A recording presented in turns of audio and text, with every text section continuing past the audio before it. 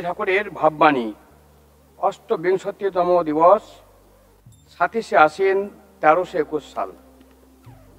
যা যা যা যা। ভগবানকে পাওয়া কি কষ্ট রে? গুরু পাওয়াই কষ্ট। সময় হলেই সদ্গুরু মিলে সদ্গুরুই ভগবান।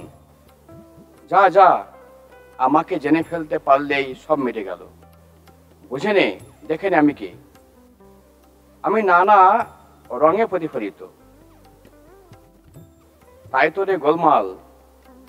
এক একটা করে রং বাদ দিয়ে ফেল, ঠিক আমি দাঁড়াবে।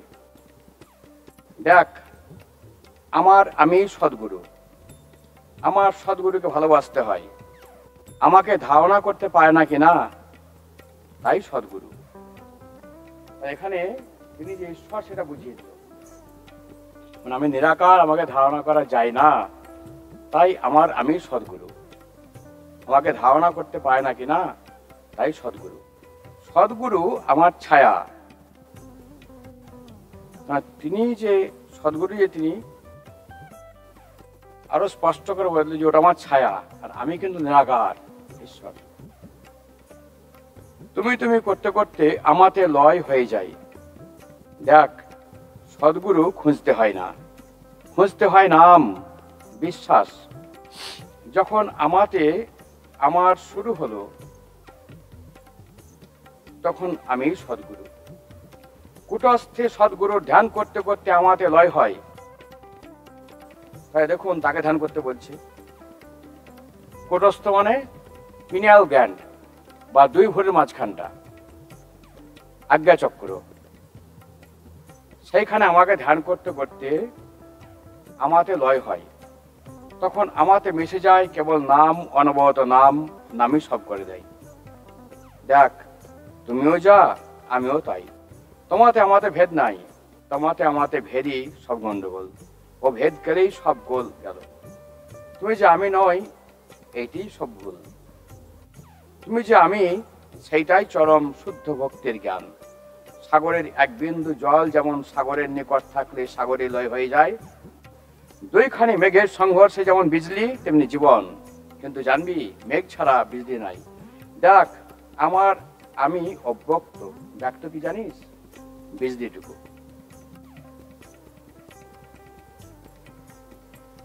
আচ্ছা করে যাও। জ্ঞান ভক্তি ধারণা করাই ভালো। যারা জ্ঞান ভক্তি ধারণা করে, তাদের ভয় নাই। তাদের লয় তাড়াতাড়ি।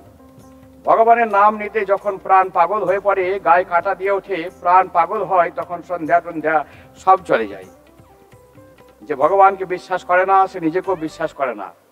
সব বেটারা চোখ বুঝে মরা পড়ল। চোখ বুঝতে কতখানি লাগে জানিস?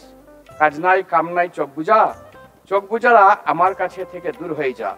চোখ বুঝার সময় হলে আপনিই চোখ বুঝে যাই। দেখ যে বলে আমি পারি না, তাকে দেখে আমি বড় ভয় পাই। যে পারি না বলে সে মহাপাপী। স্বার্থঘাতী হতে পারে। অন্তত পক্ষে একটি ধারণাও রাখা লাগে, আমি পারি। জীবন দুদিনের জন্য বলে কাজ না করলে চলে? এগিয়ে যা। অন অ্যান অন। দেখ কৃষ্ণকে ভাই, দাদা, মা, বাবা, যা বলিস তাই ভাবিস। তাকে বড় বানা দিয়ে আসনি। সে আমার, আমি তার। সে আমার প্রাণের প্রাণ। সে ছাড়া যে আমি একটুক্ষণও বাঁচতে পারি না। মনে করবি প্রত্যেকের ভেতর ভগবান আছে। জগতে যা কিছু সব তার জিনিস বলে জানবি জগতে যা কিছু সব তার জিনিস বলে ভালোবাসবি। দেখ, দিন চলে গেল। একদিন, দুই দিন করে বহুদিন চলে গেল। কই কৃষ্ণ? কই? নেতাই? তোমাকে তো একজনে পেলাম না। নেতাই? নিতাই গো, তোমাতে, আমাতে তো অভেদ হতে পারলাম না। নিতাই, কত জগাই মাথায় তরে গেল। এখন তো জগতে তোমার ছায়া দেখতে পারলাম না। হ্যাঁ বেশি গোলমাল ভালো নয়। সোজা রাস্তা পেলে বাঁকা যাওয়াই বোকামি। যে জানে না সোজা, সে বরং বাঁকা যেতে পারে। যে বোঝে সোজে, সে সোজা ছেড়ে কি বাঁকা যায় রে? আচ্ছা যাই। দরকার কি? দেখ, ওই ঘুমটাই মাটি করে ঘুমটা না তাড়াতে পারলে হচ্ছে না। চার ঘণ্টা ঘুম পারলেই বহুত। দিন থাকতে যত ঢোকা যায়, ততই ভালো। তুমি কি কিশোরীর কাছে যাও না? তোমার আর ভাবনা কি? তোমার বাড়িতে সব সময় হচ্ছে মনে হলে হলো। ভগবানের আবার মন আছে? মন সব তোমার ভিতর। তুমি দয়া করে ভগবানের স্ব নিলেই হয়। ভগবানের কি তাত? ঠাকুর হরনাথের বইগুলি পাও না? বাংলা গীতা পড়ো, বুঝতে চেষ্টা করো। মা আমার, যা কামড়ে ধরে আছে দুদিনের জন্য। সব গেল বলে। সংসারে আরও কত আনন্দ আছে উপরেও। যে কোথায় যাও না?